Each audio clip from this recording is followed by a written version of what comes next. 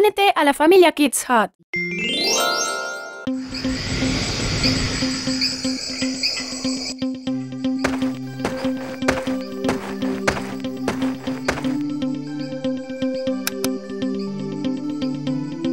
Buenas noches, Kia. Buenas noches, Tofu.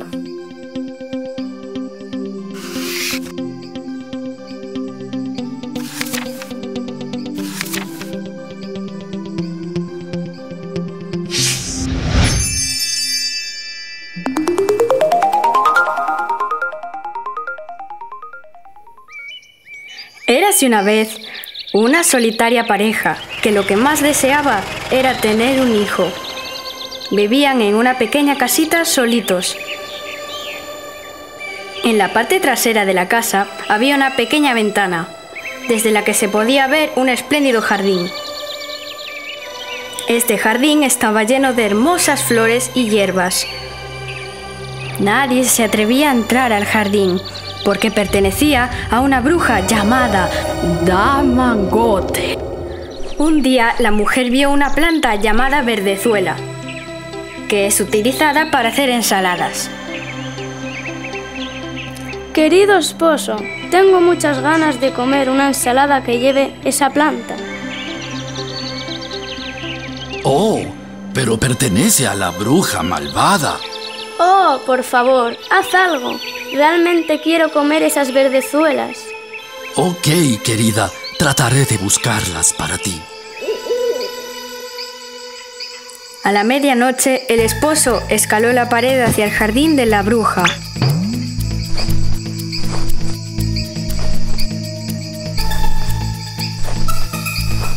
Y comenzó a tomar algunas verdezuelas. El hombre tomó las verdezuelas y su esposa hizo la ensalada y la comieron. Pero esa misma noche llamaron a la puerta y el hombre supo que algo no iba bien. ¿Cómo te atreves, humano? Venir a mi jardín y tomar mis verdezuelas como un ladrón. Pagarás por esto. Oh, por favor, perdóname. Mi esposa vio tus verdezuelas desde la ventana y ella las deseaba tanto que no pude decirle que no. Oh, si esa es la verdad, entonces te dejaré tener tantas verdezuelas como tu esposa quiera, pero solo con una condición. ¿Qué condición será? Tú deberás darme al hijo que tu esposa va a traer a este mundo. El hombre asustado aceptó la condición. A medida que el tiempo pasó, la pareja dio a luz a una hermosa niña.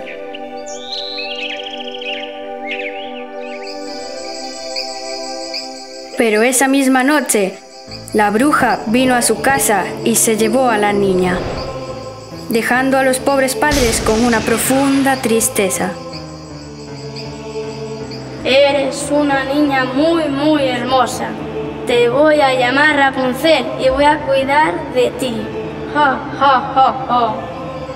La bruja la mantuvo encerrada en una torre sin puertas ni escaleras, solo con una pequeña ventana. El tiempo pasó y Rapunzel creció convirtiéndose en una hermosa joven con largos y dorados cabellos. Pero su belleza era en vano porque la cruel bruja nunca le permitiría ir a ningún lugar. La pobre Rapunzel solo se paraba en la ventana a cantar canciones tristes. Cuando la bruja debía visitar a Rapunzel, solía pedirle que dejara caer su cabello.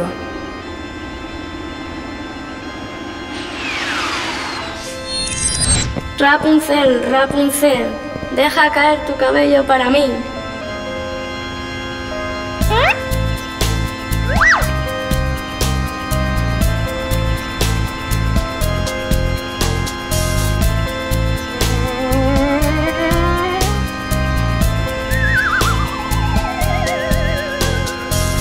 Día, cuando Rapunzel estaba en la ventana, cantando canciones tristes, la la la,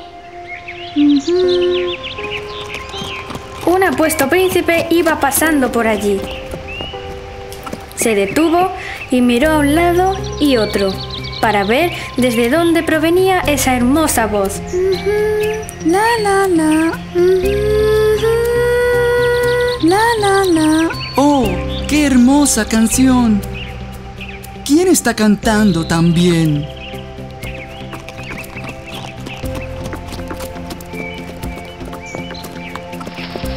El príncipe notó que la hermosa voz provenía desde la torre.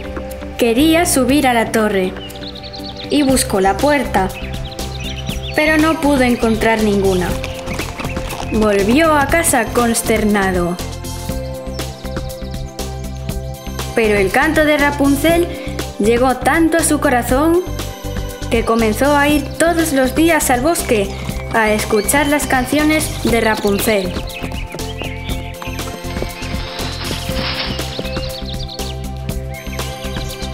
Un día estaba parado detrás de un árbol, cuando vio que venía la bruja. Y escuchó lo que le dijo. Rapunzel, Rapunzel, deja caer tu cabello para mí. Entonces Rapunzel dejó caer su hermosa cabellera.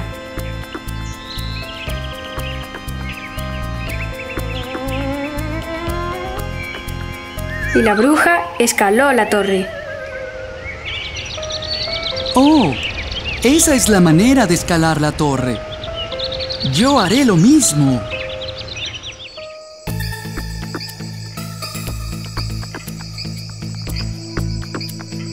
Al día siguiente, cuando comenzó a oscurecer, fue a la torre. Rapunzel, Rapunzel, deja caer tu cabello para mí. Inmediatamente, el cabello cayó y el príncipe escaló.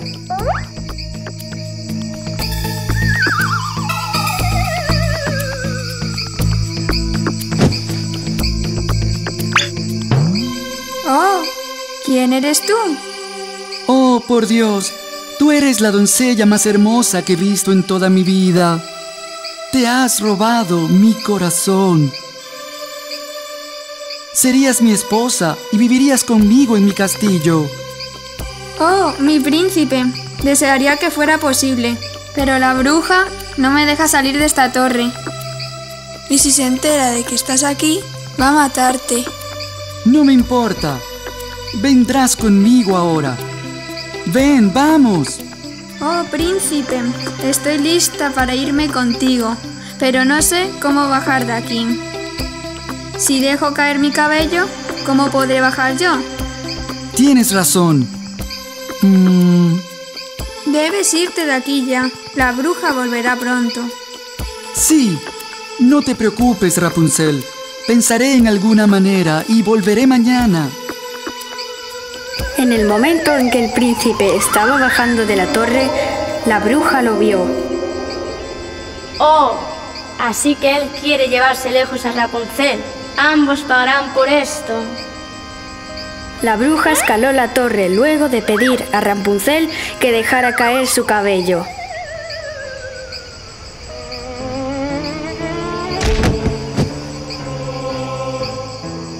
Oh, me traicionaste. ¿Cómo te atreves a pensar que puedes traicionarme? Pagarás por esto. La bruja tomó unas enormes tijeras y cortó su larga y hermosa cabellera.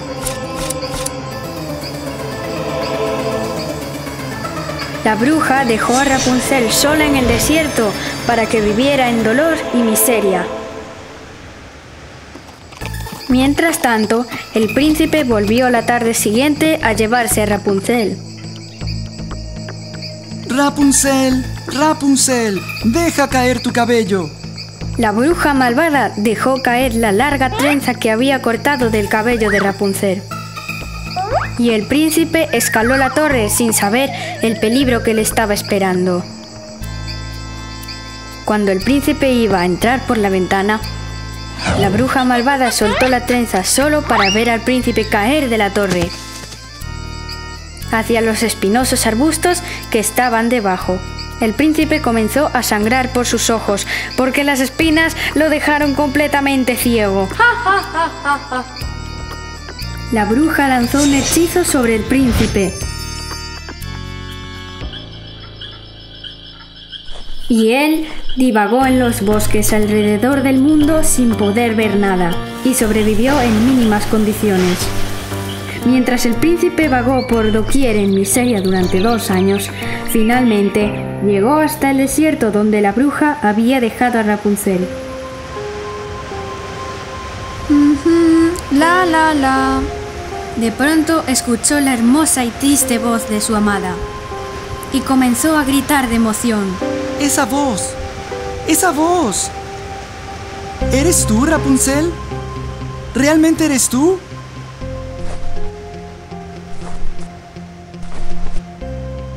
Se dirigió hacia la voz y cuando se acercó, Rapunzel dijo, Oh, príncipe, finalmente me encontraste.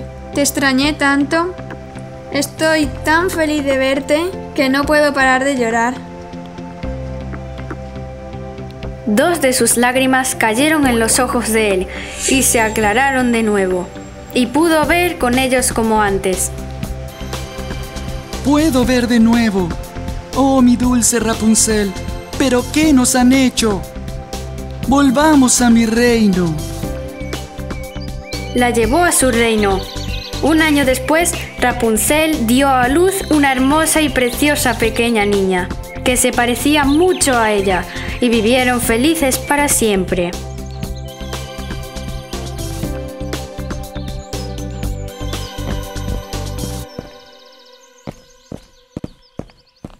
Levántate, Tofu.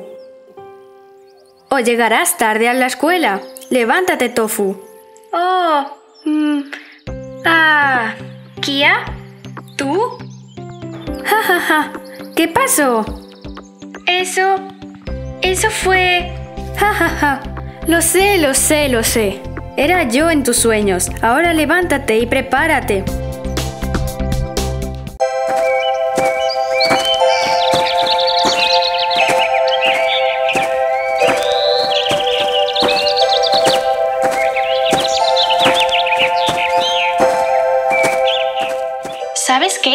Mi amigo John está ahora en la casa de sus primos. Ayer llegó tarde a la clase y la maestra lo regañó mucho. John dijo que sus primos lo obligaron a hacerle sus deberes antes de dejarlo ir a la escuela. Dijo que ellos siempre lo molestan y lo obligan a hacer las tareas domésticas. Oh no, se debe sentir muy mal.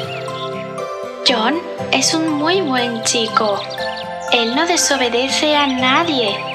Él es muy bueno con sus primos, a pesar del modo en que ellos lo tratan. Eso es muy amable de su parte. Siempre debemos perdonar a los demás por sus errores. ¿Has escuchado la historia de Cenicienta?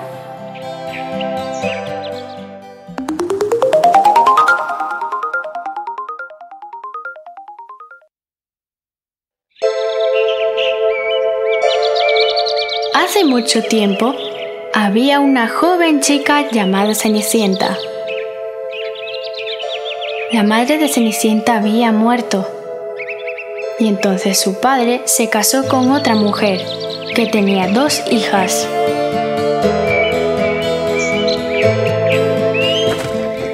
Un día, el padre de Cenicienta salió a trabajar y nunca regresó.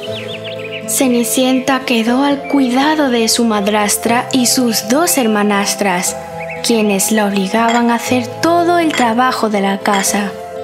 Cenicienta, ya es temprano. ¿Dónde está nuestro desayuno? Un momento, madrastra. Ya estoy a punto de servirlo. Tan pronto como Cenicienta sirvió el desayuno, su madrastra y sus hermanastras empezaron a comer. Cenicienta sirvió su plato también y estaba a punto de comer cuando su hermanastra puso su plato a un lado. ¡Eh! ¡Lo odio! Sí, ahora que lo mencionas, realmente está horrible. Madre, haz algo. Cenicienta, ¿estás tratando de matarnos? ¿Qué clase de comida es esta? Pero, madrastra, la he preparado como siempre lo he hecho. ¿Cómo te atreves a discutir conmigo? Ve y prepara un nuevo desayuno para nosotras. No te atrevas a hacer nada más hasta que hayamos desayunado. Así eran las cosas en su casa todos los días. La madrastra y las hermanastras molestaban a Cenicienta sin razón alguna.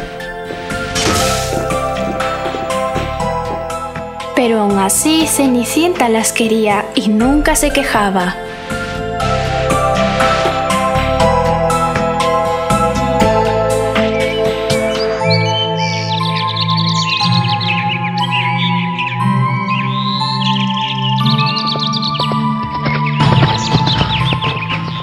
Un día se hizo un anuncio en el pueblo. Hagan saber a todos que habrá un baile real en el palacio mañana por la noche. Y el hijo del rey, el príncipe encantador, se casará con alguna de las doncellas invitadas. Todos en el pueblo están invitados. Todo el pueblo estaba emocionado. Incluso la madrastra y las hermanastras de Cenicienta no paraban de hablar en casa sobre el baile real. Y así fue como Cenicienta se enteró del baile. ¿El baile real? ¿El príncipe encantador? ¿Todo el pueblo está invitado? Terminaré mi trabajo rápidamente y así podremos ir juntas. ¿No será maravilloso?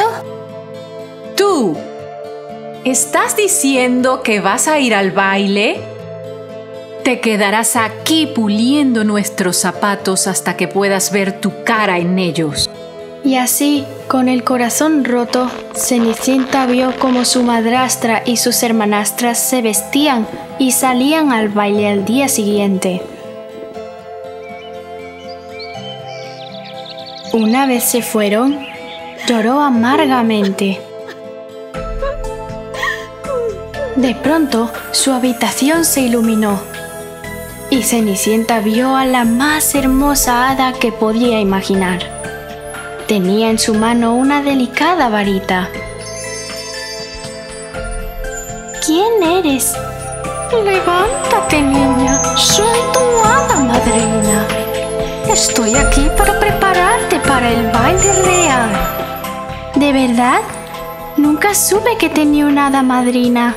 Pero, ¿cómo iré al baile? No tengo nada que ponerme. No te preocupes por eso, mi niña.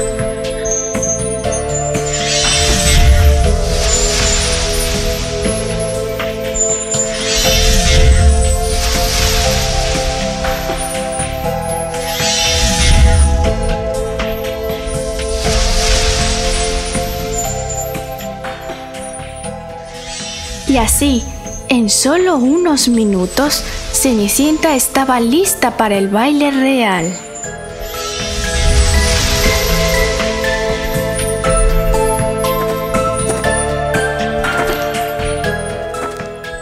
Cuando agradeció a su hada madrina y subió al carruaje, recibió una importante advertencia de la hada madrina. Regresar a casa a las 12, si no, el hechizo desaparecerá.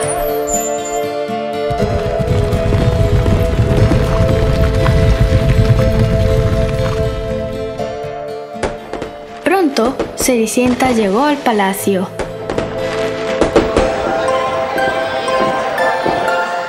Al entrar en el gran salón de baile, todos se volvieron para mirar quién era esa hermosa doncella. Nadie pudo reconocerla.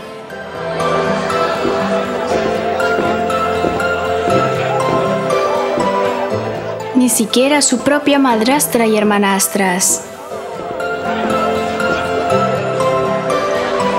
El príncipe encantador caminó hacia ella.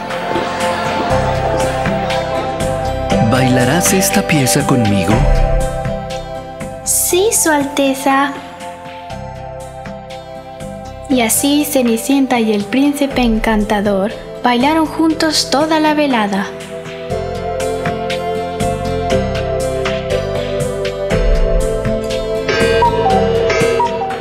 Hasta que Cenicienta escuchó las campanas del reloj. Recordó las palabras de la hada madrina. Necesitaba salir del lugar antes que el reloj diera las doce. Sin decir una palabra, soltó las manos del príncipe y corrió fuera del palacio. El príncipe corrió tras ella. Espera, espera. ¿Qué sucede?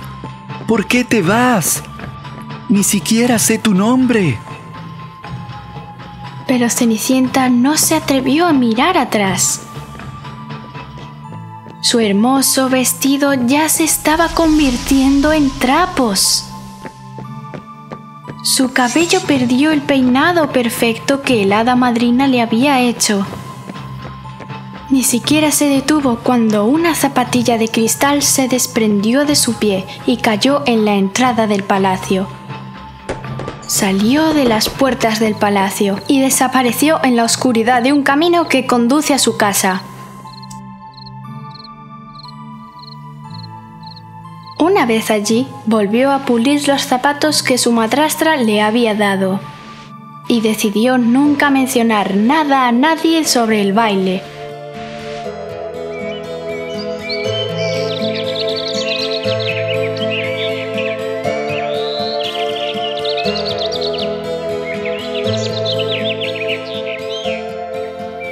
Pocos días después, dos hombres del palacio se presentaron en su puerta. La mujer de la que el príncipe encantador se ha enamorado ha perdido una zapatilla de cristal en el baile real. El príncipe cree que una zapatilla tan hermosa solo puede quedarle a su amada. Así que estamos pidiendo a todas las damas del pueblo que prueben la zapatilla. A la dama que le quede será quien el príncipe pedirá en matrimonio. Si hay señoritas en esta casa, por favor que se prueben la zapatilla. Oh, sí, sí, estoy segura de que fue alguna de mis hijas. La zapatilla le quedará a alguna de ellas. Y las dos hermanastras trataron de encajar su pie en la zapatilla, una por una. Empujaron y empujaron, pero no pudieron meter su pie. Parece que no fueron sus hijas después de todo. ¿Hay alguna otra señorita en la casa? No, no hay. Pueden retirarse. Cuando los hombres del rey estaban listos para irse, de pronto se abrió la puerta. Y el mismísimo príncipe encantador entró. ¿Quién es la hermosa joven que está arriba en la ventana? Señora, nos ha mentido. Ordeno que la joven sea llamada a probarse la zapatilla. Sí, sí, pero ella es solo una sirvienta. Sin embargo, Cenicienta, Cenicienta, ven aquí ahora mismo. ¿Sí, madrastra? En el momento en que el príncipe encantador la vio, supo que había encontrado a su amada. Tomó la zapatilla en su mano y la deslizó él mismo en el pie de ella. La zapatilla encajó perfectamente. Cenicienta se transformó de nuevo en la hermosa doncella de la noche del baile. El príncipe encantador la llevó al palacio con él.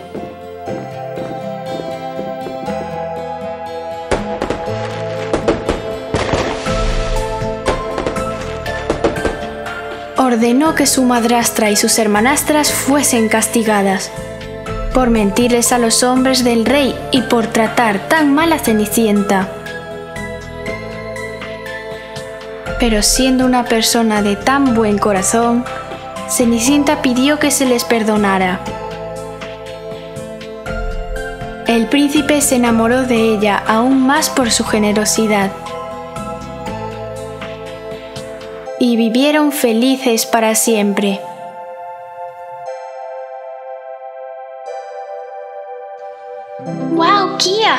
Qué maravilloso es perdonar a la gente. Gracias por contarme esta historia. Se la contaré a John también. Estoy seguro de que le gustará. Bien. ¿Nos vamos a casa ya? Creo que se hace tarde.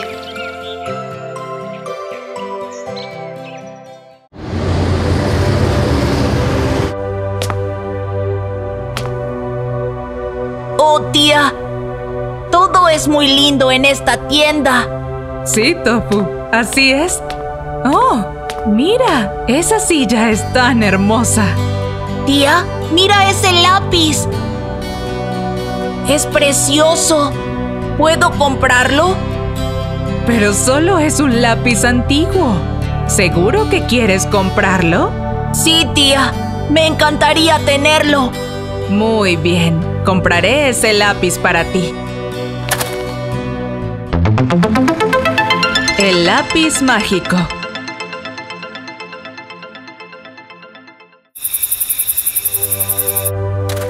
¿Quién habrá hecho este lápiz? Es muy precioso y único. Es precioso, Tofu. Te sugiero que lo uses con cuidado. O mejor que no lo uses. Guárdalo como un tesoro. Lo tendré en cuenta, tía. Buenas noches.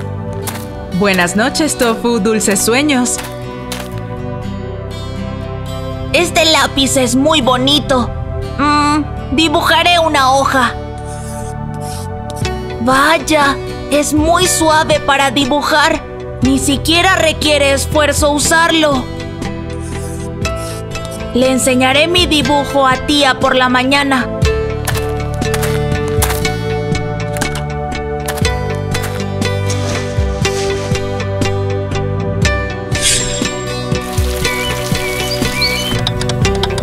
Buenos días, Tofu. Despierta. Buenos días, tía. ¿Sabes? Anoche hice un dibujo con mi lápiz nuevo. Te lo voy a enseñar. ¿En serio? Déjame verlo. Um, ayer dibujé una hoja. ¿Pero qué es esto? ¿Dónde está mi dibujo? Bueno, ¿estás seguro de que hiciste una hoja o solo la guardaste en el cuaderno? Parece que ayer alguien estaba muy cansado y con sueño, ¿no? Oh, no, tía. Realmente hice una hoja. Solo que no puedo encontrar la página. Muy bien, Tofu. Veremos tu dibujo más tarde. Ven a desayunar. Oh, ¿dónde está mi dibujo? Bueno, voy a hacer otro.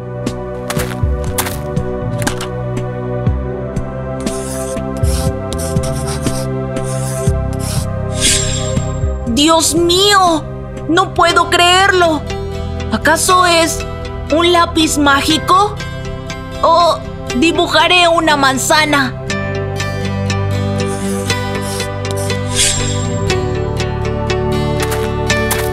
Tía, tía, el lápiz es mágico. Dibujé una manzana y una hoja y cobraron vida. Tofu, no me hagas enojar tan temprano. ¿De qué estás hablando? Dime que dibuje algo. ¡Vamos! Bien. Dibuja un pastel. ¿Viste eso? Es un lápiz mágico. Te lo dije. ¡Oh, Dios! No puedo creerlo. Un lápiz mágico. Pero Tofu, no debes usarlo de forma equivocada. Sí, tía, me aseguraré de eso. Estoy muy emocionado.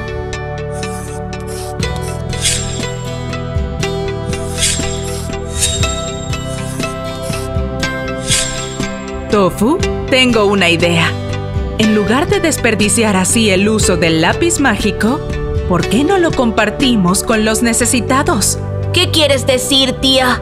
Ayudemos a quien necesite algo, dibujando cosas útiles y dándoselas.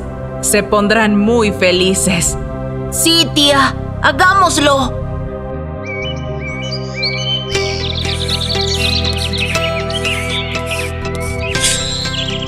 Gracias. Siempre quise un vestido bonito.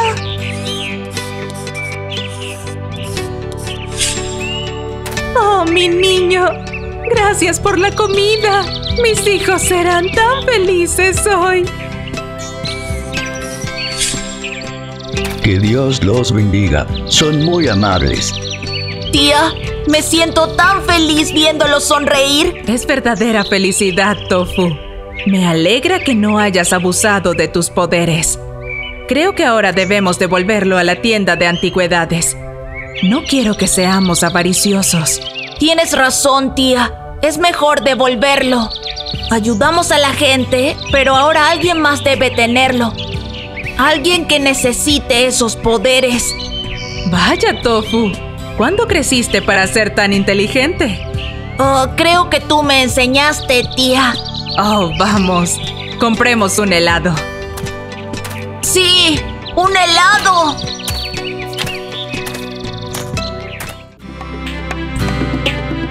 Para tus rimas cuentos favoritos y más, únete a la familia Kids Hut. Suscríbete aquí.